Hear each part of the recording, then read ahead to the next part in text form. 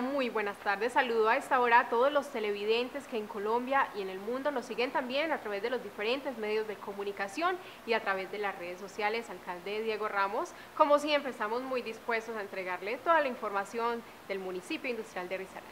Así es, eh, Angélica, buenas tardes para usted y para todos nuestros amigos allí en estudios y para todos nuestros seguidores en el mundo entero. Y la última información revelada por el Grupo de Investigación Multivaria de la Universidad Tecnológica de Pereira tenemos que el nivel de aceptación del mandato del alcalde Diego Ramos supera el 92%.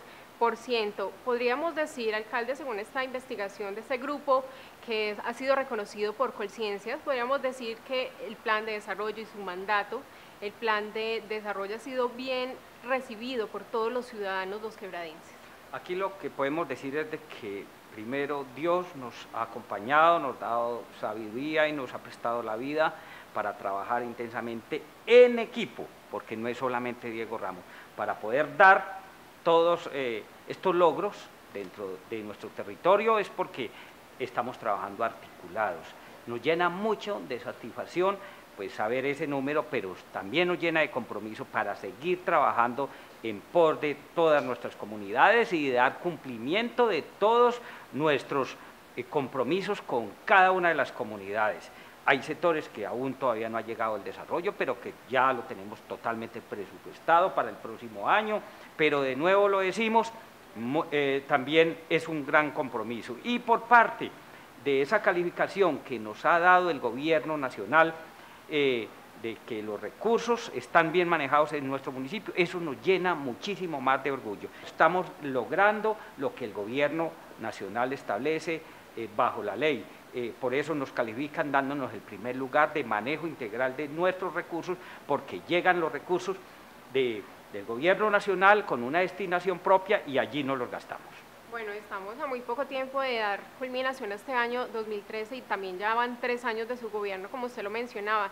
Pero ¿qué lectura le podemos dar a usted como mandatario? ¿Cuáles han sido esas acciones que más han, podría, em, han calado hasta el momento, en este momento en toda la ciudadanía, en todos los habitantes de los diferentes sectores? Bueno, muchísimo, porque hay mucha eh, ciudadanía que estaba esperando su vivienda y ya las entregamos totalmente todas las mil gratuitas. Ahorita hay muchas familias que soñaban tener también subsidio del gobierno nacional en vivienda, pues lo van a lograr con 1.043 viviendas que tenemos nosotros de cupo en nuestro municipio y que ya estamos haciendo todos estos cierres financieros. Había muchas personas también que estaban postuladas eh, porque vivían en zona de riesgo, 124 eh, viviendas por el Fondo de Adaptación, también les cumplimos. Entonces esa parte de vivienda la hemos superado, gracias a Dios. Hemos superado también muchos sitios donde están esperando la pavimentación, donde estaban esperando el cambio de alcantarillado que los estaba afectando. Eh, muchas soluciones estamos dando en agua potable en este momento dentro de nuestro municipio, garantizando a 70 años, por ejemplo, la conducción moderna que, que tenemos este año y que fue inaugurada por parte de nuestro señor presidente y y el vicepresidente de la República, que ya ustedes conocieron. Por parte también de, esta alegría que ya nos refleja la Navidad, pues también es importante darles a conocer a ustedes que de nuevo tenemos unos bellos alumbrados navideños que ya, mejor dicho, mañana, si Dios quiere, a las 7 de la noche en el lago La Pradera, queremos que nos acompañen con sus familias, con sus niños, a encender esas luces que nos dan alegría. Estas son como todas nuestras invitaciones que queremos que ustedes reciban y que participen, participen sanamente. No queremos ver es un solo, solo quemado por parte de la pólvora. Eh, no queremos de verdad, ni así sea niño, sea joven, sea adulto mayor. Si les gusta mucho, de pronto estos espectáculos, presenciarlos con el experto, con el que sabe, pero que sean los expertos, no nosotros, ni les vamos a dar este ejemplo a nuestros niños y niñas. Bueno, y el avance del plan de desarrollo se alcanza el 75,90%, esto con respecto a las metas establecidas para el cuatrienio. Según el último reporte entregado al mes de septiembre y teniendo en cuenta que para la actual vigencia se proyectó el cumplimiento de 383 metas, se logró un cumplimiento del 69% en el plan de acción del año 2014. Por su parte, el avance del plan de desarrollo equivale al 75.90% con respecto al cuatrienio, por lo que se estima que al concluir la actual vigencia se superaría el 80%. Las secretarías que mayor ejecución registran frente a sus metas formuladas para el cuatrenio, Salud, Secretaría de Obras Públicas, Secretaría de Desarrollo Económico y Serviciudad y por una amplia mayoría de concejales fue aprobado el proyecto de las fotomultas que usted, alcalde, viene defendiendo. ¿Cuál es la justificación más importante? ¿Por qué se hace necesario implementar este proyecto en el municipio industrial de Risaralda?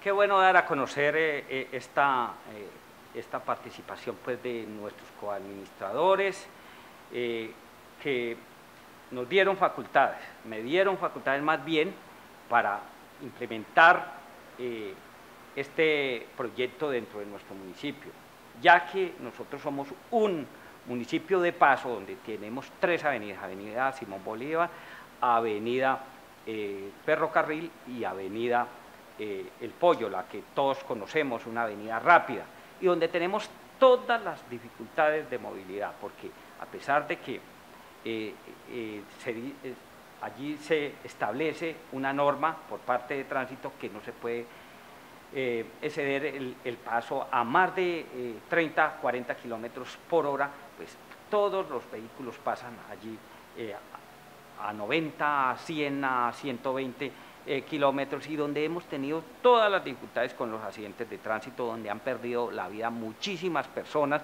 muchas, muchas mascotas. Entonces, hoy por hoy, pues tenemos facultades y nos dieron seis meses de plazo para implementar una APP o, otra manera de poder tener ese, ese proyecto funcionando. Esto es una necesidad, debe ser una cultura que debemos de empezar a, tomar, que por todos estos sitios, por todos estos pasos eh, obligados de cada ciudad, pues debemos de, tener unas normas y cumplirlas, o existen las normas, pero hay que cumplirlas, y lastimosamente no las cumplimos.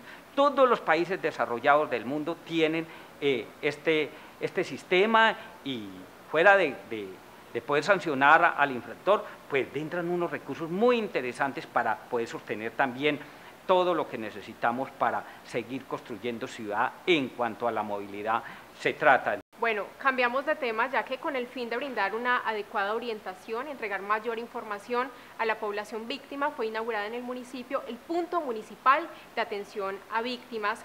¿Cuál es el cambio más importante al dejar de atender a esta población que llega en una amplia mayoría a esta localidad a tener ya un punto disponible para ellos? Esto va a ser en la Secretaría de Salud. Bueno, recordemos que hoy por hoy o, anteriormente eh, cualquier eh, eh, persona que, cumpliera estos requisitos para ser víctima eh, por desplazamiento forzado, por tantos problemas que, ha tenido nuestro territorio nacional, pues en cuanto a estas zonas rojas, nosotros no somos un municipio de zona roja, gracias a Dios por esa parte, pero tenemos mucha población flotante en esa parte de víctimas por eh, desplazamiento, pues nuevamente lo decimos, entonces no teníamos un sitio acorde con esa necesidad. Más de 5.000 familias en este momento o víctimas tenemos totalmente identificadas, donde teníamos un grave problema, no teníamos un sitio donde atenderlos, donde se sentaran a esperar, porque todos los días se reciben muchísimas por parte de la personería. Y el pasado sábado, eh, con todos los personeros del del departamento, eh, hay que darles un agradecimiento y a todos los, eh, la, Defensoría del Pueblo, donde articuladamente se pudieron atender todas estas personas que tenían ya eh, cita hasta abril del próximo año. Hemos superado muchísimo a muchas de estas víctimas, les hemos dado vivienda, les hemos cumplido con la seguridad alimentaria, les hemos cumplido con la educación, les hemos cumplido con la salud. Ahí estamos de frente pues trabajando, pero de verdad que eh, gracias a Dios pudimos eh, articuladamente trabajar con, con la unidad de víctimas del departamento y el gobierno nacional y podemos contar con este sitio para atención inmediata a todas nuestras víctimas. El punto municipal de atención a víctimas tuvo una inversión de alrededor de 100 millones de pesos para su adecuación y puesta en funcionamiento, la cual favorecerá alrededor de 5.756 personas que han llegado víctimas de la violencia y que en el municipio de Dos Quebradas han realizado su declaración. El punto de atención a víctimas fue inaugurado y puesto en marcha en la Secretaría de Salud Municipal, cuyo impacto más significativo será la adecuada prestación del servicio, ya que se había superado la capacidad instalada en el Centro Administrativo Municipal para 5.756 víctimas que han llegado desde todas partes del país a dos quebradas. En este momento yo quiero darles un agradecimiento profundo e inolvidable al doctor Diego Ramos, porque entre los alcaldes que hemos tenido acá en el municipio de Dos Quebradas, es un alcalde, mejor dicho, excelente, el único entre los alcaldes que nos ha dado tanto la mano a los pobres. Bueno, alrededor de 100 millones de pesos se invirtieron aquí en la adecuación de las instalaciones, teniendo en cuenta que tocó, tocó habilitar esta unidad que no estaba funcionando, eh, pintura, logística. Aparte de eso se consiguieron seis equipos de cómputo de los más modernos. Durante el evento se destacó que a través de la unidad de víctimas han sido destinados recursos por los 3.637 millones de pesos para ayuda humanitaria para favorecer a 4.376 víctimas y al mes de agosto del 2014 han sido indemnizadas 954 personas por 5.267 millones de pesos. Hoy lo sentimos así, em, ha, sido, ha hecho un trabajo importante con todos sus funcionarios y es por lo que entre las calificaciones que ha tenido Quebras ha tenido una buena calificación en el tema de víctimas. Para que vengan y pregunten en qué está su caso, cómo está su, su reparación administrativa, cómo está su ayuda humanitaria o cómo están, eh, digamos, el restablecimiento de sus derechos plenos. El punto lo conforman cuatro funcionarios que atenderán desde el horario de las 7 de la mañana a las 12 del mediodía y de 2 de la tarde a 6 de la tarde de lunes a viernes. Dos Quebradas expuso oficialmente ante los medios de comunicación la programación para las fiestas aniversarias del Progreso 42 años. Igualmente fueron presentadas cada una de las candidatas que representan a las diferentes comunas del municipio de Dos Quebradas. Podríamos decir que cualquiera de ellas, la que fuera seleccionada, va a ser una excelente representación de esta localidad. Así es, eh, Angélica, muy contentos también por esa parte. Aquí hay que agradecerle a todo el equipo de la Secretaría de, competitividad a, cargo del doctor José Omar Toro, eh, donde se ha trabajado articuladamente también con la Cámara de Comercio y donde ya, como usted lo dice, presentamos estas niñas bellas que tiene nuestro municipio y que dimos a conocer todo, todo eh, la programación de estos cuatro días. Muy cortas, pero la invitación es pues a que eh, nos la deleitemos con nuestras familias, pero que reine la paz primeramente y no se nos olvide también de que sin pólvora y tampoco se nos puede olvidar de que mañana a las 7 de la noche vamos a encender las luces navideñas en nuestro municipio, eh, Lago La Pradera. Hablamos con cada una de las candidatas al reinado del progreso. Ellas nos hablaron sobre sus fortalezas y por qué quieren aspirar al cargo de señorita Dos Quebradas las candidatas al reinado del progreso, quienes cuentan entre los 18 y 23 años de edad, se preparan para representar por lo alto a cada una de las comunas en los diferentes eventos programados durante las fiestas del progreso 42 años. Mi fuerte, nada, mi personalidad, mi alegría, eh, las ganas que tengo de representar este municipio. Pues yo quisiera ser la señorita Dos porque me siento una mujer líder y capaz de ayudar a mi comunidad. Estoy participando en este reinado para poder demostrarle a todos los biquebradenses lo que es la esencia de la mujer. Es así como cumplen agendas en los medios de comunicación, concediendo entrevistas e interactuando con la ciudadanía, así como también reciben clases de pasarela, fogueo periodístico, etiqueta y glamour. Espero este reinado poder, en conjunto con mi comuna, hacer realidad pues, los proyectos que, que se tienen pues, en, cada, en cada una. Quiero ganar este reinado porque creo que tengo la actitud, el carisma para llegar a la sociedad, a nuestro municipio. Me gusta mucho trabajar con los niños y me gusta mucho eso de llevarles alegría a la gente con una sonrisa, que es lo que transmite una reina. De este reinado quiero aprender mucho, sobre todo a compartir con los demás, a tener más relación con mi comuna. Las candidatas estarán presentes durante las actividades de las fiestas aniversarias que irán desde el 4 hasta el 8 de diciembre. Me siento muy feliz de poder estar aquí, de representar a mi comuna y dejarla en lo alto. Mi gran fortaleza es la seguridad. Yo tengo una muy gran seguridad, expresa, la expresión hacia el público y me gusta mucho estar en contacto con las personas.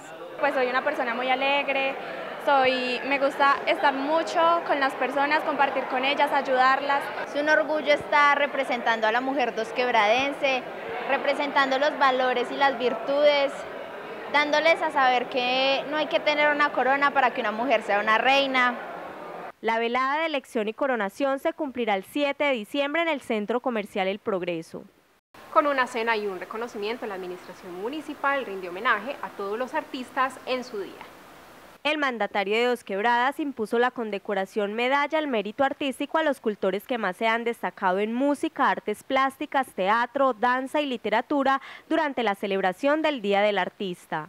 En 17 años, 18 años de trabajo nunca se había reconocido la labor de Luna Nueva, 12 generaciones, 6 generaciones en danza. Yo he tenido la oportunidad no solamente de representar a Dos Quebradas a nivel nacional, sino internacionalmente también. Y lo he hecho con mucho cariño. Y este tipo de reconocimientos son los que llegan al alma. Está reconociéndole a estos muchachos, a estos juglares de las artes, de la música, el teatro, la danza, la literatura, las artes plásticas, toda esa labor que durante todo un año hacen al interior de sus comunidades. En este espacio también se dieron muestra a las obras, bailes, el canto, la música y la poesía de los diferentes escultores de este municipio, a quienes por tercer año consecutivo se les brinda homenaje y reconocimiento por su aporte a través de las diferentes expresiones artísticas. Diversas personalidades asistieron al compartir de amor de la niñez, quienes expusieron y agradecieron a la primera dama del municipio por realizar esta labor en favor de todos los niños dos quebradenses a fin de entregar un detalle en esta Navidad impulsada por el objetivo de que ningún niño se quede sin un detalle en esta Navidad, la primera dama del municipio Margarita María Posada convocó a los empresarios, amigos, funcionarios y comunidad en general a aportar a la campaña denominada Compartir de Amor por la Niñez de Dos Quebradas. Ayúdame a regalar sonrisas en esta Navidad. Hemos llegado aproximadamente a 40 mil niños, este año queremos llegar a unos 42 mil o 43 mil niños. Hemos llegado a todos los rincones de, nuestro municipio y queremos hacerlo, seguir haciéndolo cada año. Entonces nos hemos eh, vinculado a esta campaña y eh, con todos los amigos del hospital y con, y con todos nuestros proveedores para poderles dar una sonrisa a todos los niños del municipio. Me parece importante, me parece un gesto bonito por parte de ella para para la niñez, para los niños de Dos Quebradas, los niños y las niñas. Es indudable que la empresa privada debe apoyar estas labores tan bonitas para poder llegar con una sonrisa a la niñez que necesita tanto apoyo de parte de nosotros. Mando una felicitación muy grande para la primera dama del municipio Margarita, porque se le nota el amor y todo el empeño que le pone a estas actividades. Hay que apoyar esas causas y en buena hora la primera dama del municipio de Dos Quebradas a esas campañas y tenemos que apoyarla siempre. Y esta actitud, esta decisión y por supuesto esta campaña que hace nuestra primera dama nos ratifica el interés que tiene la administración municipal por no solamente hacer un proyecto de orden local, sino darle una cobertura social armoniosa con el deseo eh, del corazón. Fue así como se realizó una cena donde las diferentes personalidades exaltaron el trabajo social desarrollado para alegrar los corazones de los pequeños y fomentar la contribución ciudadana a esta causa. Y estos son otros hechos que se destacan en nuestro municipio. Contribuir con la nutrición de niños, jóvenes y adultos es la propuesta del actual gobierno de Empresa de Todos. Sin embargo, el mandatario ha impulsado como causa personal la entrega de alimentos de primera necesidad. En las últimas semanas, esta labor fue trasladada al barrio Saturno, donde más de cuatro toneladas de alimento fueron repartidas. Pues a mí me parece espectacular, ya varias veces lo ha hecho, que mi Dios le pague y lo bendiga a él y a toda su comitiva de trabajo. Gracias al alcalde y a Diosito por traerlo por acá que muchas gracias por esto, por la hamburguesa y por darle comida a las madres cabezas de hogar. También en el barrio Bombay, las madres cabeza de hogar y en especial los adultos mayores fueron favorecidos con legumbres y verduras. Por su parte, este trabajo viene siendo complementado por la asesoría de comunicaciones que elabora comida rápida para los niños y las niñas, una atención que busca alegrar a los más pequeños a fin de que disfruten de un momento agradable mientras esperan a sus padres. Una hamburguesa con una con un cifrut. Que gracias por lo que están haciendo y los refrigerios. La Secretaría de Desarrollo Social y Político propone la primera feria de servicios para la comunidad LGTBI, denominada Expo Diversidad Triángulo del Café, que se llevará a cabo el domingo 30 de noviembre en el Centro Comercial San Francisco Plaza. Alcalde, muchas gracias por toda esta información y por supuesto lo esperamos en una nueva emisión. Muchas gracias a usted, Angélica. Nos despedimos en compañía de Fotón y decirles a todos de que viene la Navidad y que la queremos compartir mucho en familia y que la paz sea la reinante con la ayuda de Dios. A ustedes los esperamos en una nueva emisión de Empresa de Todos. Continúen en estudio con más información.